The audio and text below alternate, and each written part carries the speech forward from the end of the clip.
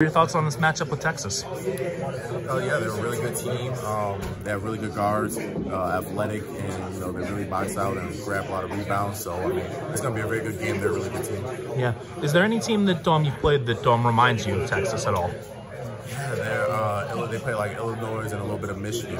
So you know, it's gonna be an interesting matchup. We're definitely have to keep them off the glass and try and make it more of a half court game for us. Yeah. Um, both teams obviously having plenty of experience um, and um, talent. When you get two teams um, like um, that, what does a game like this come down to? Uh, basically the little things. It's always going to come down to the little things. We feel like we're both going to execute our game plans. We're really good teams on both sides, well coached. So basically, you know, who's going to make more win plays at the end of the game. Yeah. Um, last night, um, really seemed like um, every, like everything was working um, for you guys. Um, what happened um, last night?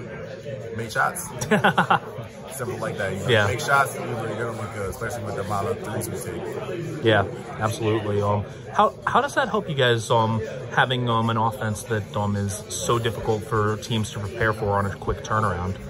That was really important, you know, when we're out there and we're spraying the ball around, people are chasing us, like they said, you know. Um, it's going to allow us to really make shots and make people take the ball out, and they have to play against a set defense, and if they don't score, we're back in transition, playing our brand. So um, that's what we try and get into a lot, you know. We got to hold teams to one shot only, and then we got to go out there on the other end, move the ball, and get wide open looks.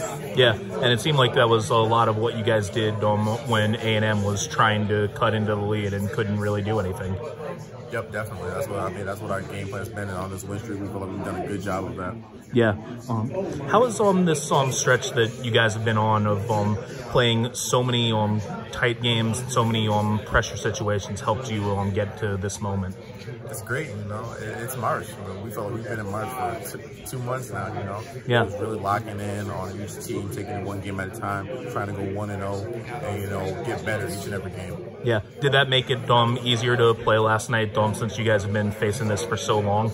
Um, yeah, definitely. So coming out, um, we had some nerves, we had some filling out period to see how they were going to play us and what the different things we were going to do. But like we said, we feel like we can beat anybody in the country. We're going to come out, we're going to prepare hard, we're going to play our style of basketball, and then at the end, we'll see what happens. Yeah. How how is what you've um been through in the Big Ten um prepare you for a game against a team like Texas? Yep, Big Ten, you know, it's a lot of big, a lot of athletic teams. So we've already played against the teams that are taller than us and bigger than us.